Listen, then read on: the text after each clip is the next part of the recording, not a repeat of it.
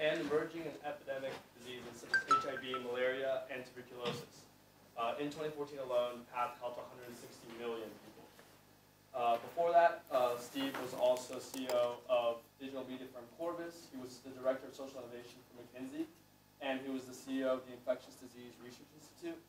Uh, Steve is also has practiced law and international um, international law and intellectual property. And he earned his BA from Princeton, his MA uh, in Chinese Studies from the University of Washington, and his law degree from Columbia. So please help me welcome Steve Davis. Hi. Well, first of all, um, it's great to be here um, at Stanford. I actually uh, teach at the Graduate School of Business in the Social Innovation Program. I'm a lecturer, so I, um, I'm in familiar territory. I actually taught across the hall, but um, it's, it's always great to be uh, here on campus and, uh, and with you all. So um, I kind of got the marching orders that this is a, you know, a, a lecture or a time to talk about uh, entrepreneurship and social innovation and a little bit about how I see it, a little bit at what I do, a little bit what Path does, and but mainly a conversation. So I'm going to try to be brief and mainly uh, want to spend time hearing and listening and talking to what you guys are thinking as well. Um, but let me uh, talk, I'll first talk a little bit about myself, which I hate to actually do, and, but that, that was part of what I was asked to do. I want to talk a little bit more about social innovation and global health, and that's what I work on sort of obsessively, and I think there's a huge amount of room for social entrepreneurs in that space. And then talk um, a little bit about some of the themes I see in the social innovation space that might be relevant. So um, I, uh, um, won't go through my background or my bio, but a lot of people, including my mother, my 90-year-old mother, still ask me what I'm going to do when I grow up, or if I've decided, and the answer is I don't know. And my major message is you don't need to know. Um, and and uh, I think that um, knowing what you want to do is way overrated. So um, the next time you're stressing out about your job or your summer or your resume, just I hope you will remember this speech and said, well, I guess that guy did okay, and he didn't ever know what he wanted to do either. Um, so, uh, and the example would be um, getting. Okay, um, so I don't. Okay, yeah, I can manage that. The, so, so I've done a lot of different things uh, in my life, uh, and I went to law school. I specialized in Chinese law. I've done a lot of community activism. I've started a number of nonprofit organizations over the years. I've also sat on the boards of a number of, of organizations. I also um, helped start a for-profit or two and have been involved uh, as a lawyer. I directed the social innovation program globally for McKinsey.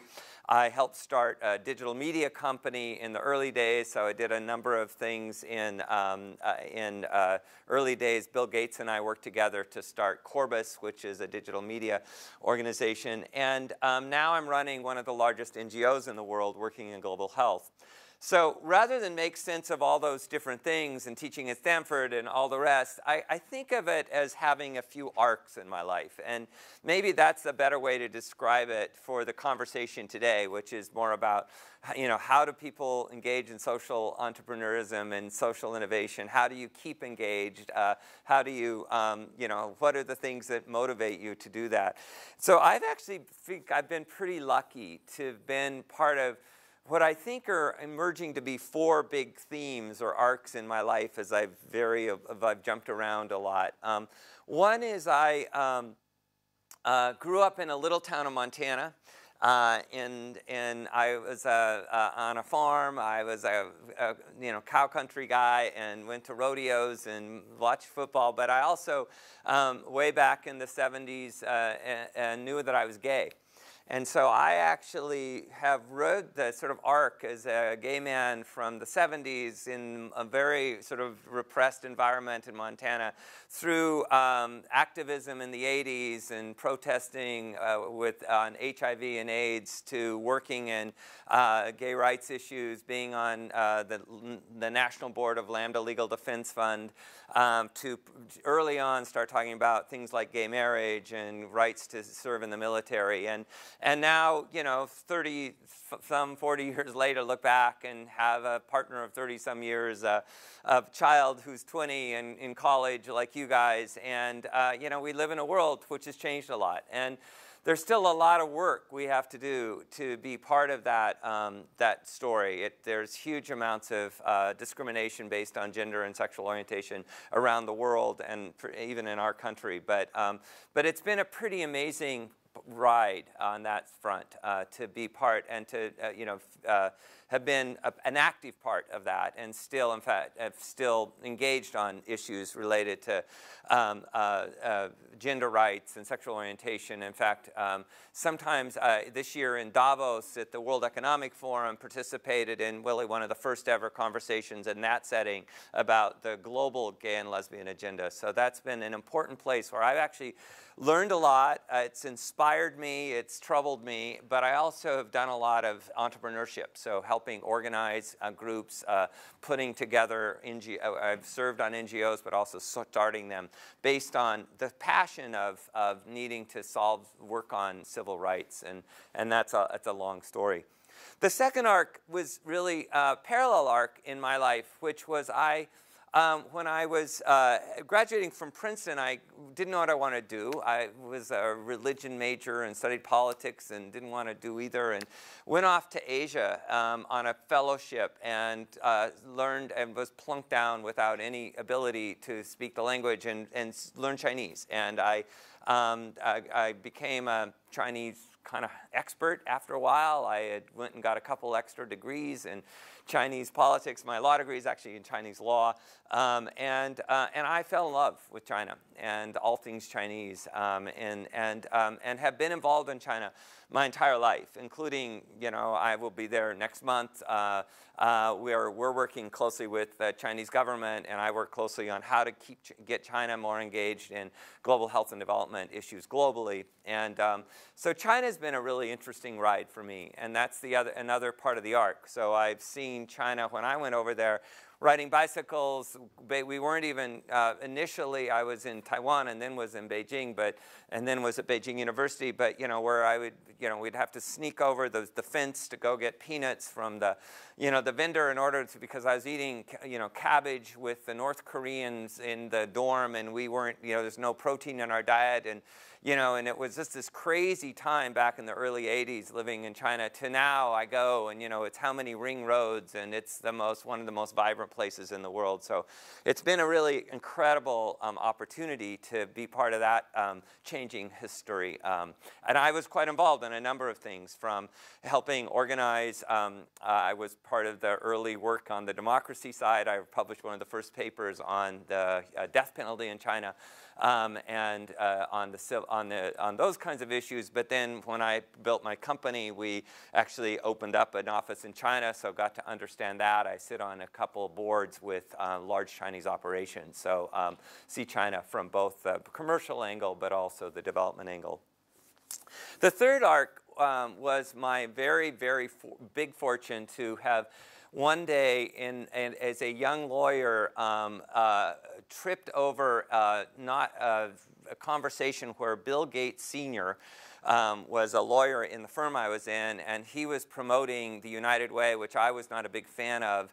And I criticized it very politely, but I suggested that maybe we should rethink that the establishment model and blah, blah, blah. And the next day he walks into my office and he's like, I'm thinking, oh my God, what a career limiting mood that was. I, you know, even though I thought I was being nice, I, you know, all my friends were like, do you know, like the Gates family and like the, the United Way? And, and it turns out that, um, that um, he challenged me to kind of put my time where my mouth was. And if I thought that, you know, that the United Way wasn't working, then would I volunteer, you know, that kind of volunteer, but to, to um, help redesign the United Way, which I did, and then became the board chair in then Northwest and at 33 or something, and and um, became on the national stage on the United Way. But the more important piece of that story was I got involved with the Gates family, and I ended up then um, at one point. Um, leaving the firm to go work with Bill's son, uh, uh, Bill Gates of Microsoft fame uh, and now foundation fame, to um,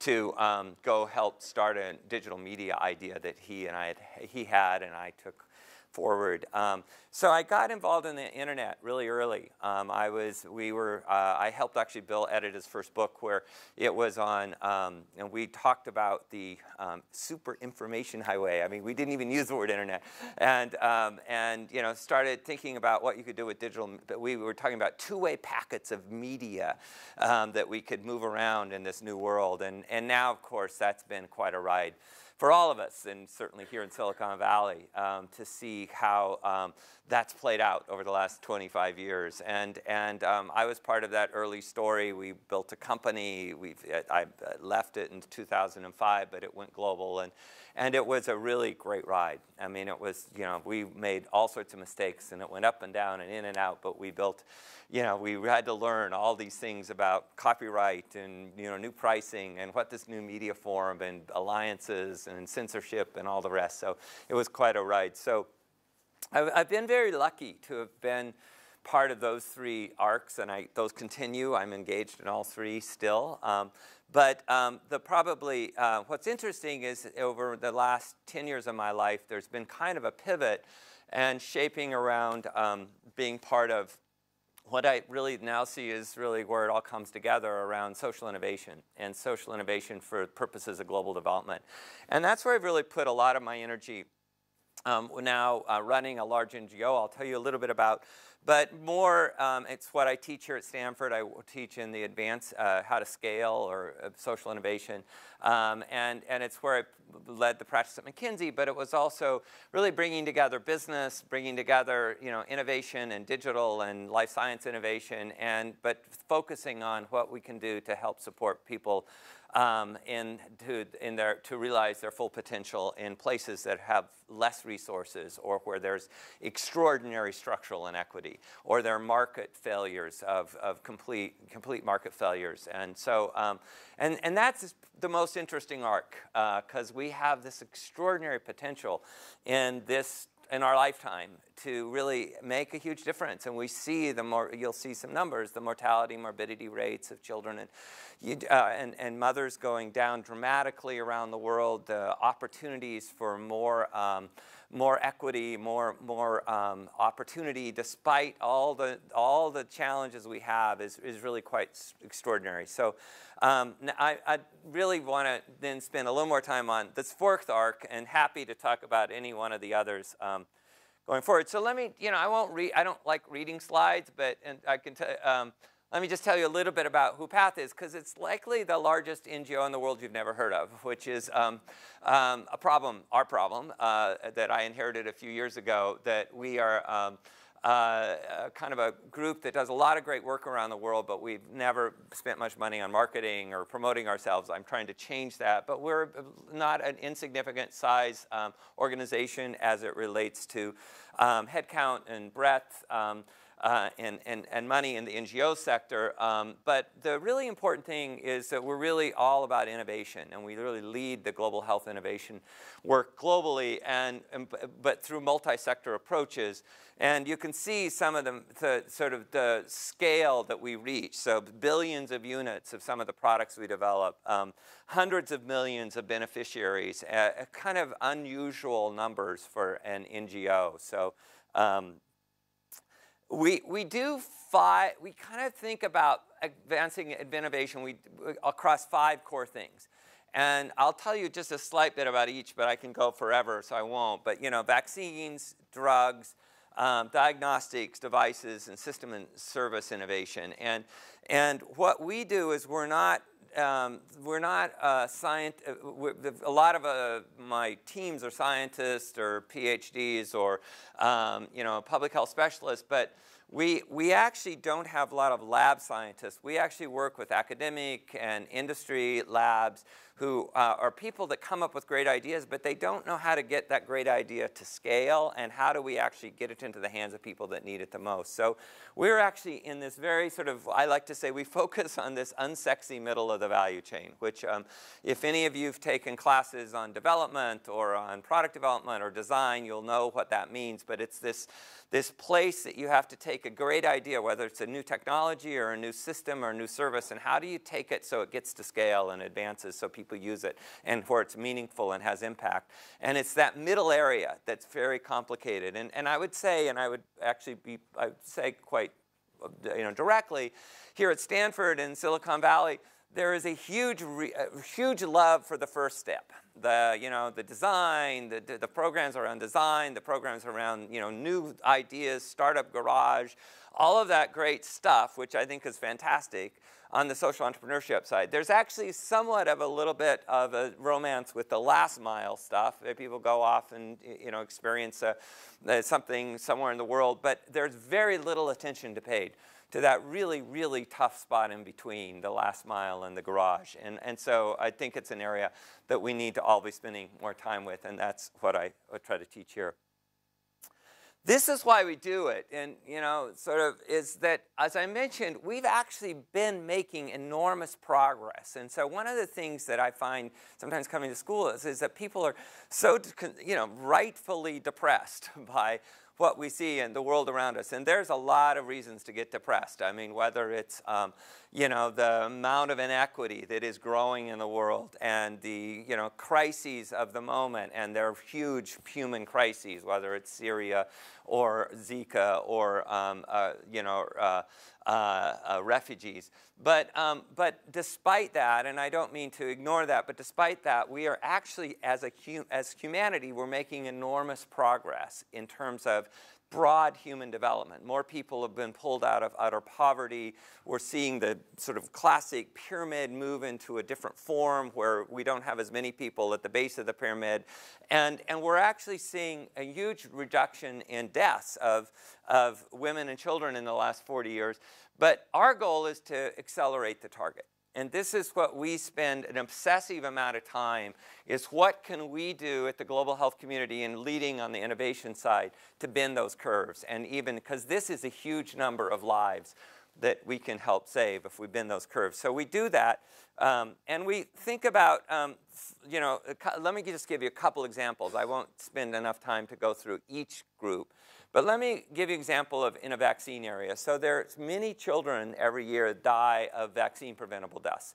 Um, and it's, it's really quite horrific if you think about it, that we know how to prevent many things, but kids, if they're unfortunate to live in a certain part of the world, or in a certain uh, so socioeconomic class, or in a certain caste, they are not given, they're not access to those diseases, uh, those vaccines. And this is, the vaccines are magical. They, you know, for a very low cost per unit, they can prevent a lifetime of suffering. And most people in the developed and rich world have access to those that we have. Now, there are diseases for which we do not have a vaccine yet. And so those are tough diseases like HIV, where we have people working for it, and pharmaceutical companies and biotech companies are working on those solutions. But there are also a number of diseases for which the, um, the, there's not much market incentive because they're mainly diseases of the poor and there's no investment model that would ever show that you could put enough money in to get a return on that. Um, and so what we do is we focus on those because we're an NGO, we actually um, are focused on addressing that inequity in the system.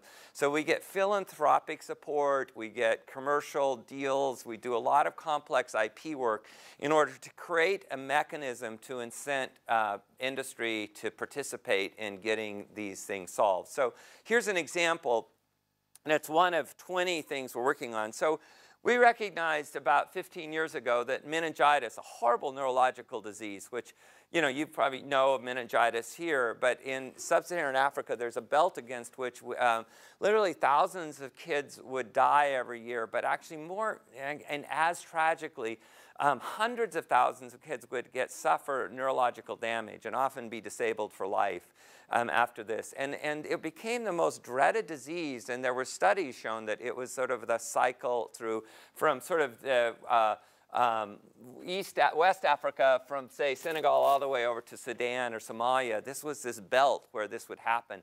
And, and yet, and so the African leadership of the group said, you know, this is not okay that you guys have an, an, an uh, epidemic meningitis vaccine in most places in the world. how come we can't get one for this part of the world and it's a particular strain? So there was a partnership that was committed. PATH was at the center of the partnership, but we actually started pulling together a variety of players from the FDA had to get involved for regulatory purposes. There was underlying patented science that we needed to use. We actually got the Serum Institute in Pune, India to engage on low-cost manufacturing and pull together a model. And what was very important is to focus on the strain in Africa where so many kids were dying but um, what was very important is the African is having African health ministers at the table, at the design table, who said, you know, this has to be done less than 50 cents a dose. And so just I've sat on vaccine company boards, so I can tell you most vaccines and drugs are not made with a cost as part of your product profile.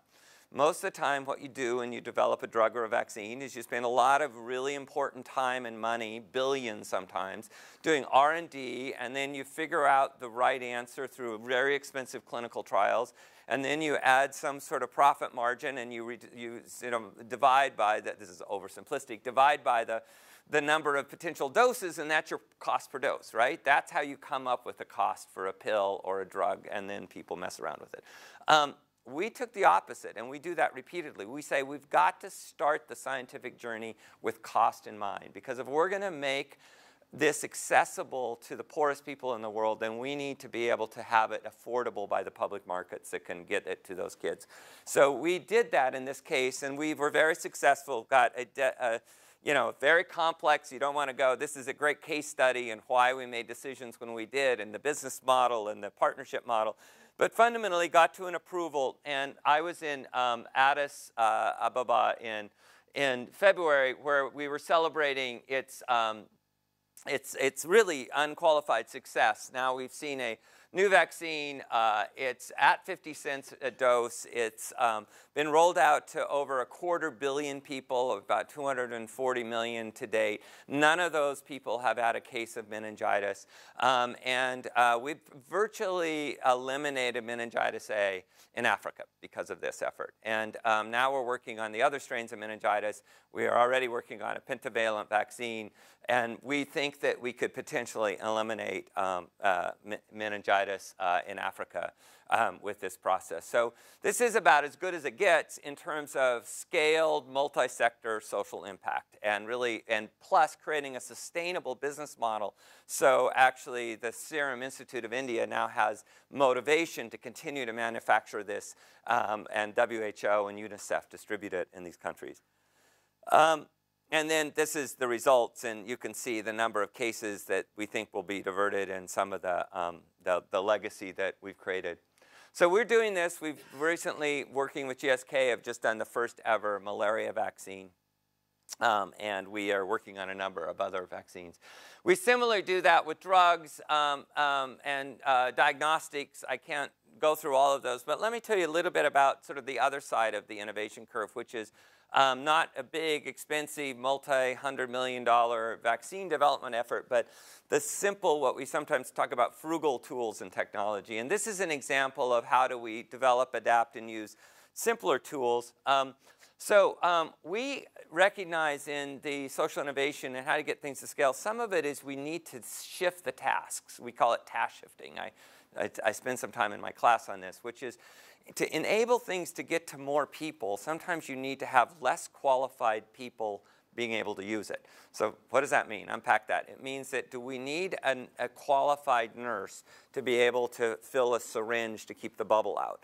That's not it. That's a fairly technical thing to learn how to do, and then there's qual. So could we create some way so I can give somebody a vaccine without being a qualified nurse?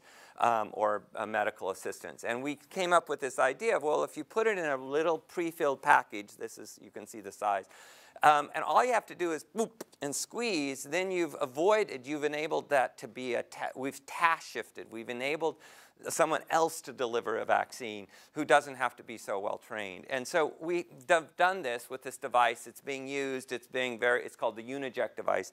But then we started thinking about another problem which is there are a number of women, uh, in well, women in Africa, particularly who um, are not, who are asking for modern family planning methods. So we estimate there's about a quarter um, million uh, women in the world, a quarter billion women in the world, who actually are asking for contraception but don't have access. And most often it's there's supply issues but often there's, you know, family, uh, partner dynamics, community dynamics that make that less accessible.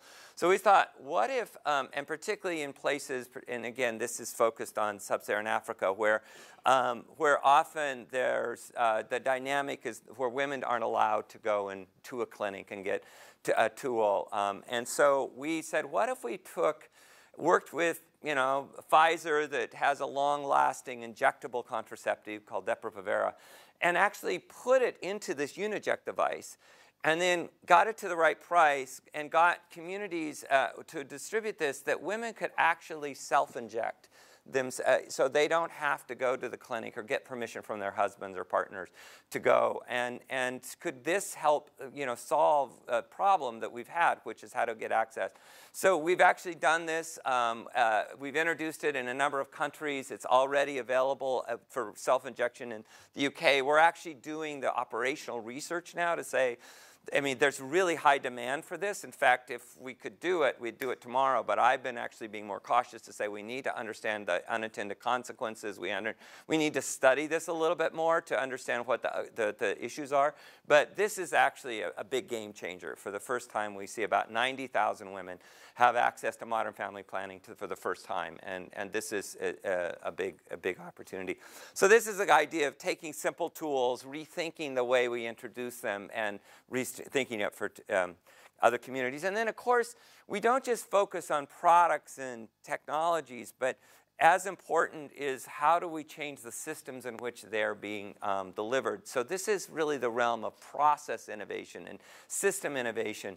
And we have lots of um, examples around the world. This is actually our biggest portfolio. But this is just my last example, um, is uh, um, multi-drug resistance tuberculosis. It's this, the really scary kind. That you get it, you can't get rid of it, it's very deadly, very virulent. And um, it's very prevalent in the very poor slums of Mumbai, where you have enormous amounts of it. You've got very con highly congested communities, very poor communities. But we were asked to look at how this works. And of course, the assumption was this is a government problem, right? These are super poor slums. The government has a problem. And the reality is, if you start investigating it, it turns out that it's about 60% of the people in, that, uh, in those uh, wards, and there's across about 3 million people in these specifically very poor wards, um, are getting their frontline health through private sector providers. One person stores, like that picture, where a, a single doctor, maybe not, maybe not a real doctor, but has some level of uh, some training, um, are, are set up to provide that kind of service. And so we started looking at that, but the problem is, is if somebody came in for their TB services from this guy, and the guy goes and calls the government and says, I am treating somebody for MDR-TB, the government would take away the guy's patient. So no, they have to come down. So the problem was not about not having the right tool or medicine. It was the system was designed with the, the sort of bad incentives. It wasn't, there, the incentives weren't aligned. So we sat down with the government at their request, and this is all our sort of a big team of Indian doctors and others, said, how do we realign the incentives here? That we can actually um, create a more uh, set of training and tools to enable you, the government, to actually save money by, by enabling them to do the right thing by treating, and you want to encourage the private sector providers, but you want to encourage them with the right training. But you still need to pay them, but pay them efficiently, so let's put a digital voucher system in so these mini micropayments could be rewarded easily. So we did that, and we've actually, I just saw some numbers on my, on my um, my phone that we've seen record levels of both um, adherence and compliance. So this is uh, new people getting treated, adherence to the regime, which is really important when you're taking these drugs. We now actually are going to be doing this with HIV drugs and other drugs to, to, to work on um, aligning incentives. So this is sometimes, it's not only the the tool or the product, but it's actually, you know, the system they're working in, and can we use innovation and smart thinking around that? It really is an amazing time in global health. I won't, we've done some real work on as the, we've committed as a global community to the Sustainable Development Goals, um, what it, it will take to actually reach the targets in 2030 in health. And we think that there's a, a, set of key innovations that we already know what they look like if we can get them to scale, and it's product innovation, system innovation, and service innovation. And I think we're quite confident. I'm very confident and excited, and this is, gets back to the sort of the fourth arc um, to be part of, that we can do this in the next 15 years. And I, am very confident for really four reasons, or really sort of at the base of, of my optimism. One is we have momentum on our side. And, um, and momentum is not just that it increases sort of the speed and the opportunity, but actually, with health at least, healthier people, then will have it, there's a virtuous cycle. If you're uh, healthier, you're going to actually take care of yourself and your family, and then that actually has its own cascading effect. So, so we've got a lot of great momentum. We also have political will that we've really unparalleled amount of investment into global health and development, a lot of commitment, a lot of uh, you know, millennials putting, doing social entrepreneurial work, impact investing, but we also now have, as you know, the global goals or the sustainable development goals, which are the 193 member states of the United Nations unanimously committed to an, a series of commitments, including uh, on, on health and climate and other things. So this is, gives us a framework in which we, I think we can do even more. We also, as I mentioned, have seen this enormous shift in global demographics. Um, which we talked for years about the base, the pyramid and the base of the pyramid. But actually, if you do the numbers, the pyramid is starting to reshape itself into kind of a funny diamond. And, and that diamond has a lot of implications. So first of all, um, you know, we'll still see extreme poverty and wealth inequity, so that's not changing. But the big shift is more and more people that were sort of traditionally chronically poor at the bottom of the pyramid are now part of a lower middle income um, uh, set of, uh, of consumers. And so now there's this incentive for more corporate, uh, community and entrepreneurial, I mean, um, corporate and entrepreneurial engagement in that lower income marketplace. And we see that. We also see uh, a shift where the poorest people in the world are no longer um, living only in the poorest countries in the world. In fact, the poorest people in the world are actually living in middle income countries often. So now we've got to shift our thinking as humans how to help people in low income communities, not poor countries. And that's a different shift. And so it means the way we think about this has to change. But it's all quite positive, but it does require some really major mental model shifts in how we go about doing our work. And finally, there's nothing, you know, that I can't tell this audience about uh, that is about disruptive technologies. We are, in fact, in a, in a real disruptive time technologically. So, you know, uh, I was just over this morning at Facebook and how we're going to use social media to mobilize communities differently around pandemics, how we are using um, digital tools to do diagnose, diagnose things remotely. How, I mean, we, we have so much opportunity to pull the sort of digital tools into our whole panoply of solutions. Um, and also we have now, of course, on the life sciences side, the genetics, uh, uh, understanding of genetics and genome and where that will take us in terms of breakthrough scientific work around um, immunotherapy and other things. So we're really on the cusp of some pretty, pretty cool stuff. So the last thing I thought I would spend a couple minutes on is just, um, before I open it up, is sort of what are some of my observations around the social sector. And I've alluded to these, but, um, but this is actually relevant whether you're a for-profit um, startup entrepreneur thinking about social impact, or you're running a large NGO, or you're a government and doing public policy, or all of the above. And some of this comes out of, I, I'm on the Social Innovation Council at the World Economic Forum, and we've been doing some work on what are these larger themes that the world should be paying attention to. And I think it's relevant as well for the uh, early stage entrepreneur. Um, one is we have a very, very big shift in the geographic um, model we're working on. And it's happened just in the last 20, 25 years. And that's not only the shift I was just describing in terms of where the pockets of the deepest inequity and, and, and inequality are, um, not only poor countries, but how do we address the pockets of great inequity in, uh, in Vietnam? I was just, uh, poet, uh, the president was in Vietnam, of the U.S. was in Vietnam today, and we just got a, a, a, an email about him visiting the uh, emergency operations center that we've helped set up there around disease control. But um, you know, but in Vietnam, it's about a middle income country, but, but actually has enormous pockets of poverty. So how are we going to support their journey to enable um, those folks to have more potential? But also, where's the center of innovation? Um, so there's been a large presumption that innovation is sort of the product of the West or the North that we then send to the South. And of course, that was never right. But it's really changing now where innovation is the, the source of great innovation is coming from all over the world and we need to tap into it and you know, support it, um, you know, provide more um, support, both financial support, technical support for that. The second is, I would say, this increased multi-sector solutions. And when I say multi-sector, I, I, mean both, uh, primarily mean across public, private, and social sector, and including academic. Um, and, and we, you know, there is just so much good literature and evidence that, you know, we can't solve any of these big problems by any one sector alone. And, um, and one of the hardest things to do is figure out, like we did with the meningitis project, is how do you bring the right private sector players, the right public sector players, the right nonprofit sector players into a room and discuss how to actually change the, the way the, the world works.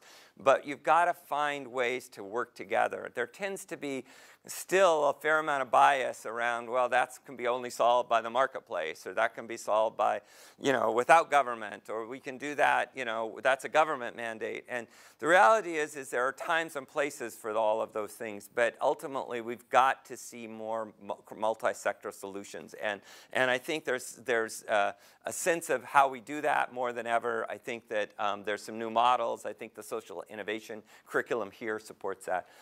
Um, I think scale and governments matter. And I say this particularly, I, I got to tell you, in my classes at Stanford, the one big aha that every year the class reports back is like, wow, we just assumed that government was always our enemy in this stuff.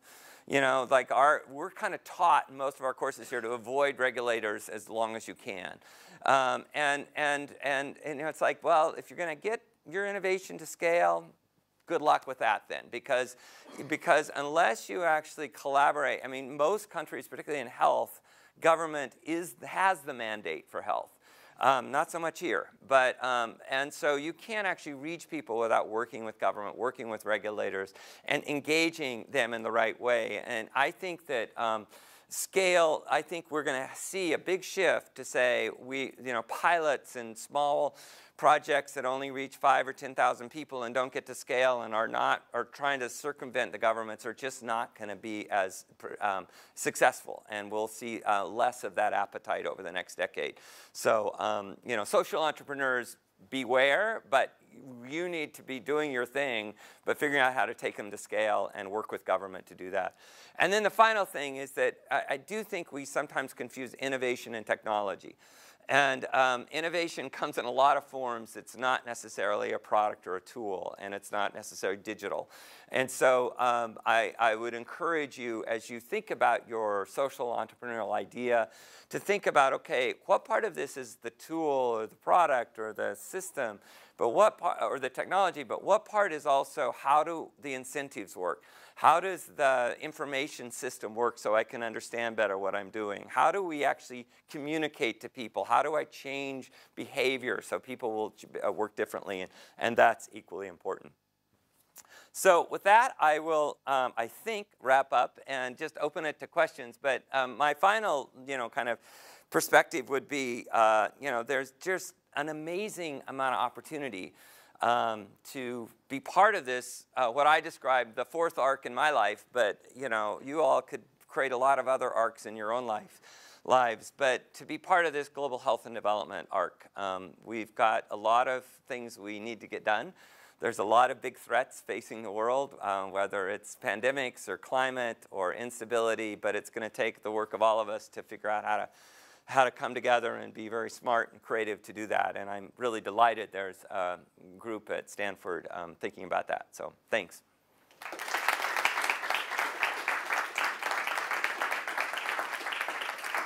So I guess about 15 minutes of question and answer, and I'm supposed to repeat the question. So if I fail to repeat the question, tell me. Comments or questions? And I was told this was not a shy group. There we go.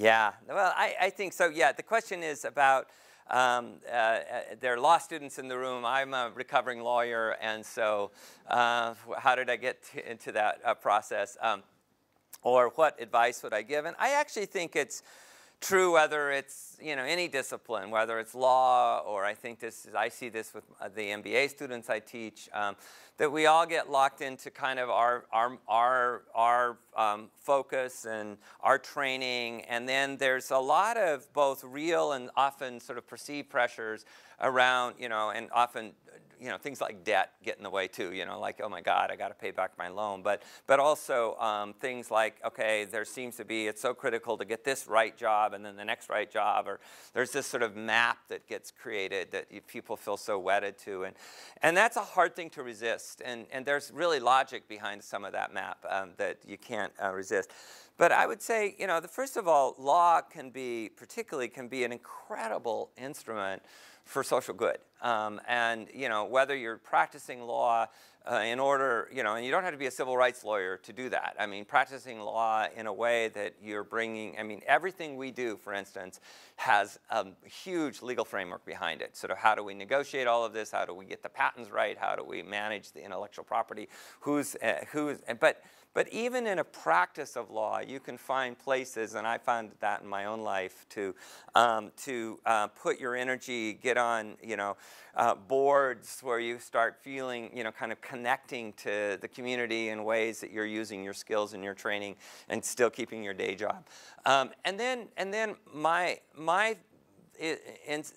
instinct or decision was really built on at some fundamental level of like, you know, am I going to, how do I, how do, make, how do I think about impact, the kind of impact I think I want to make, and then how do I match that with personal satisfaction and happiness, me and my family, and how to, you know, and, and it's that sort of figuring out that intersection, impact and happiness, that I think um, often we fail to kind of uh, communicate well in academic settings or in business settings. And, and ultimately, I was just talking to a guy out at the, the cafe uh, who was a very brilliant guy out of my class last year. And, and you could so, you know, in the conversation, I played his conversation back to me and I said, it's so clear what you want, but you have another track going in your head is what everybody's been telling you you ought to do because you're at Stanford or because, and, and just really listening to that and, and challenging that constantly will pay off in the end. There's a lot you can do as a practicing lawyer. There's a lot legal skills bring to the table. Um, and, but I think sometimes it takes a leap of faith sometimes to get out of that rut. Other questions or comments? Yeah. Talk about the one injection contraceptive and that you want to put it out there as soon as possible, but there are a lot of concerns that you are having this discussion on when to do it and how to do it. Would you mind telling us about how that process happens? What are the concerns and how do you plan that timeline? And how do you kind of balance the pros and cons of making it too early or too late? Sure. So the question for uh, is, as we talk about scaling innovation, and particularly as I mentioned, the injectable contraceptive, the the choice of how fast do you move and the pros and cons of scale and speed and, and uh, wh when do you have to get enough evidence and um, to move faster. Um, it, it's, a, it's a great question and not an easy answer. In fact, the main answer was, well, take my class, right? Um, but um, uh, the, but uh, the, the short answer is, um, it gets back to that sort of valley of death scenario, is within each of those sort of phases of the development and introduction cycle, um, we, there, there are a fair number of benchmarks that you need to be thoughtful about. Now, sometimes they're highly regulated. So in a, you know, in a um, vaccine development, the, uh, the vaccine regulatory authorities will tell you exactly when you can move things forward or not. And so sometimes it's very controlled. But in a lot of the stuff we do, it's, it's kind of us setting, uh, working with you know, authorities, but setting a little bit the pace and the plan ourselves because um, you know, some of this isn't highly regulated. Like um, that, that's somewhat regulated, but it's not super high. But the thing that we're, we care about is ultimate long-term sustainable impact. And so what we have done, what we see is sometimes it, you know, it sounds so cliche, but it actually speeds you up by, you know, slow down to speed up problem. And if we slow down enough, to make sure that we've really followed sort of the correct steps and built, you know, tested it a few times, built enough evidence that we can go to policymakers and have a fairly clear view of what worked and what didn't work. Um, kill projects readily along the way so that we're not seen as a group that just romances an idea, but we have the discipline to take evidence and take action against the evidence. But then also recognizing that unintended consequences can be the thing that, you know, unexpected unintended consequences can be the worst thing that you can have in scaling innovation that, you know, and, and some stuff you'll never know, right? I mean, who knew, you know, Zika six months ago maybe. But there's a lot of stuff we know that will come up, and we've seen it happen before. So you go back, in this instance, we know that suddenly we're giving women who have basically, in communities where there's been very little access to any kind of rights to health, a tool you know, are they going to use it properly? Will they start, you know, will there be a gray market developed here or not? There turns out not to be one, but that was a question, you know. We've seen other commodities go into some of these communities where suddenly there were created, there was a, they suddenly show up in the pharmaceutical, selling in, you know, the frontline pharmaceutical. Someone's, you know, is this, are there, are, um, are people well trained how to use it? Or are we going to see mistakes and accidents? So can we be spending some time observing so it will help us understand how to introduce it and how to train people and what kind of program needs to be delivered. So it was just a set of actually not highly complicated things, but we've observed through a lot of work over 40 years and through a lot of literature of what's gone wrong in other similar instances, and then taking that and developing a design, a framework or a design that you kind of then check the boxes, right? So we've demonstrated this, this, this, and this. And then when you finally do go to scale, you can, um, you can feel more confident that you're not going to get blindsided by something you ought to have thought about. Um, um, now, I asked to honestly, I mean, this one's where Bill and I have gone, you know, he and I disagree on. He wants to go this fast. And I'm like, no, we've got to go through the steps here. And we got to sort of do the operational research to demonstrate, you know, it's yes, it means that, you know, I get it, that it means that some women who want it won't get it as fast. And that's, that's, you know, that's in this business, you face that every day. But if we do this the right way, more women will have access to it than we could even imagine in a year. And so let's just sort of take our time to get, to get that right. Any you had a question? Yeah, what are the differences between helping people living in primarily poor countries and the poor living in the income countries? Yeah, it's a. there will be a lot of work on that in the next uh, decade because it's it's it's um, kind of glaring. It's this glaring challenge we have. So the difference is that the world of global health and development. There's a lot of levels of difference, but let me put a couple meta pieces here. Um, has been really framed up around how does the rich world help the poor world. Um, and, and, and I'm talking about global development. I'm not talking about, you know, the work of social impact broadly, which is often, you know, in one's community, one's backyard. But now I'm talking about kind of the post-World War II global development framework where you started seeing aid and development, et cetera, take place. And it was, and it was targeted on, and we came up with all sorts of bad, you know, frameworks, the North and the South, the, you know, blah, blah, blah. And, and what that meant is, so the main mechanism, the main way to measure that was a GDP per capita at a national level. So basically, the poor, uh, the, the, the, the norms of aid were built around country, the poorest countries, and that was measured in a national level GDP per capita. So um, which worked for quite a while uh, to the degree it worked at all. I- mean, in the sense of if you believe aid, some people don't think aid worked. I think you can't. It clearly has worked in terms of pulling people out of poverty and helping uh, it in another of other levels, but and, and certainly saving lives. Whether it's been as transformative as some people, that's another issue. But um, but the problem is, is now in the last 10 or 15 years, that GDP per capita list means that there are a number of countries that are graduating from aid. Um, and over the next decade, if the trends continue, and they almost certainly will, will graduate from aid. They will go beyond the GDP per capita.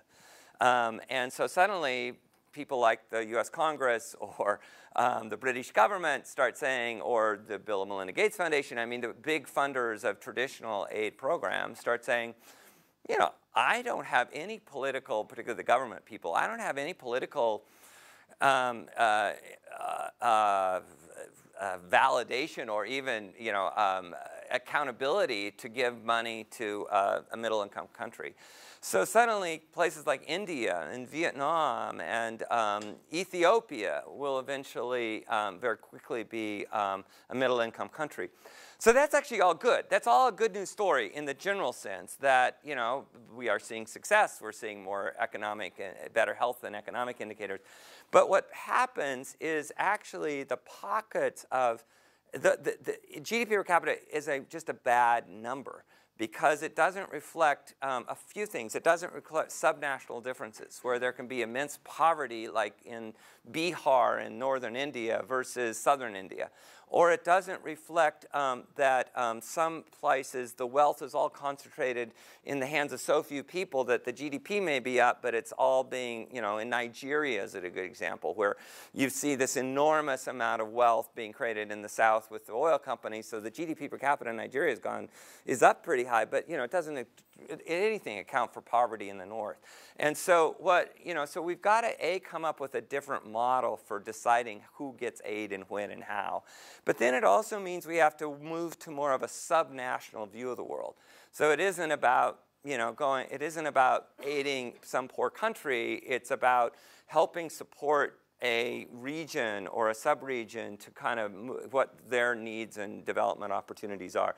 And then it also means that um, the role of the private sector starts changing in this dynamic. So places like um, Vietnam right now, we actually do a lot of work in Vietnam. Um, it's actually a middle-income country, a very, you know, but, but what we see is um, uh, a number of companies who are now investing in Vietnam are recognizing that whether it's their, part of their license to operate or because of their genuine concern for bringing up you know, communities that need it, eh, access to drugs and, and, and tools, they're willing to help support that effort to get, you know, to be part of that marketplace as well as to be um, a respected player in the country. So you actually see um, the role of the private sector being affected too. But it's a whole books on it, so we'll eventually figure it out. I think I'm reaching the limit. Thank you, guys.